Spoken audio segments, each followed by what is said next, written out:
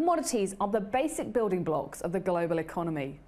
Natural resources traded on dedicated exchanges around the world. Commodities come in two types soft, which are typically agricultural, like rice or sugar, and hard, those made up of metals or energies, like silver and gas. The production and consumption of commodities depends on many factors, including supply and demand, the weather, economic and political events, and the dollar, as commodities are normally priced in US currency, meaning commodity prices can fluctuate significantly. So, how do you trade them?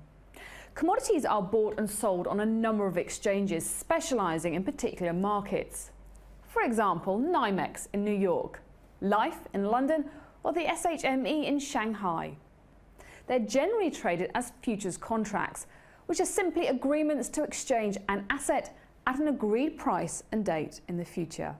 This enables you to trade the contracts themselves without ever having to own the underlying asset.